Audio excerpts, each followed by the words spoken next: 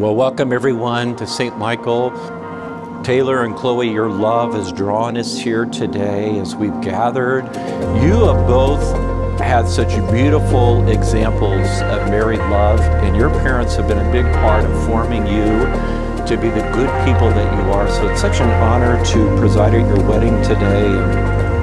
We warmly welcome all your family and friends. One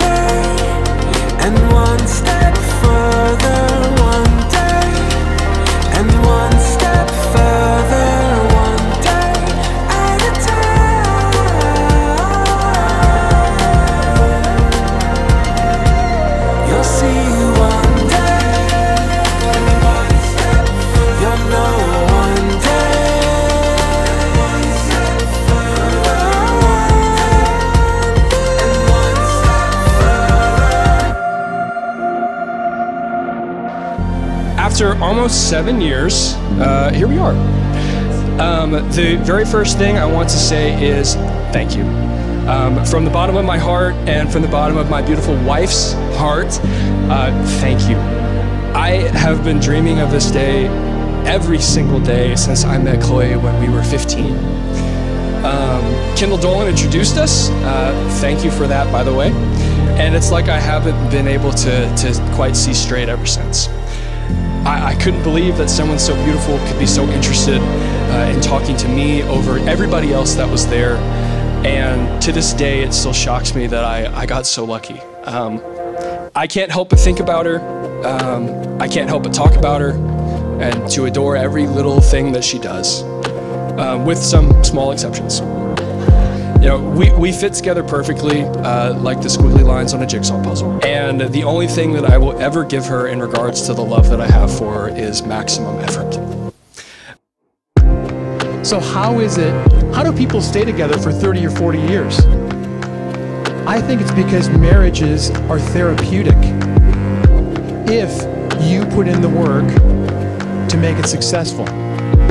And that work requires from both of you patience and prayer and self sacrifice.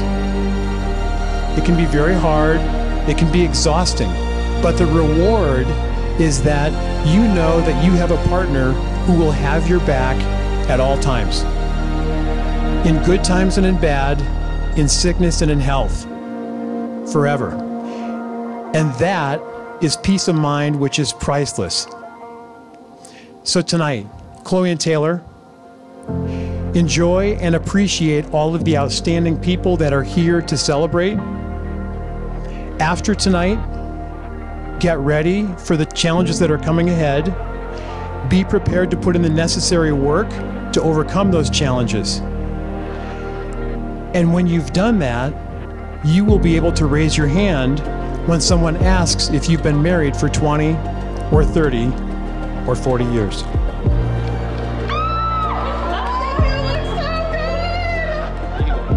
Um, to my beautiful wife, thank you for making me whole, for making me happy, making me smarter.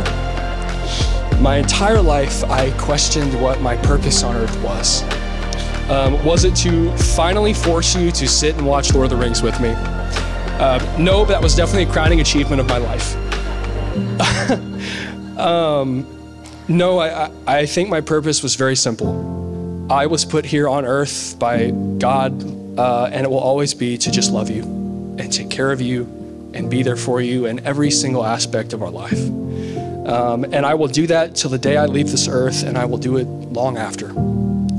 I will finish and leave all of you with a quote from my favorite author, J.R.R. Tolkien, yes, the guy that Lord, Lord of the Rings, and uh, a final closing word to my wife. I would rather spend one lifetime with you than face all of the ages of this world alone. Thank you.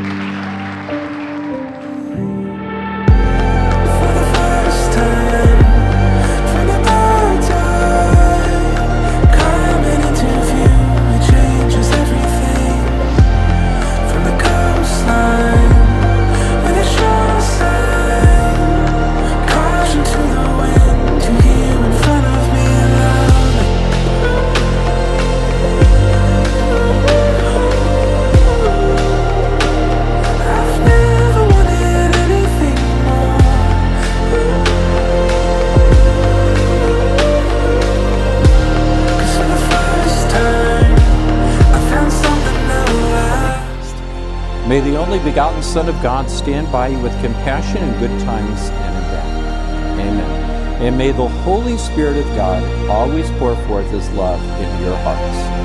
Amen. And may Almighty God bless all of you who are gathered here, the Father and the Son and the Holy Spirit. Well, I'd like to be the first to introduce to you Mr. and Mrs. Ray.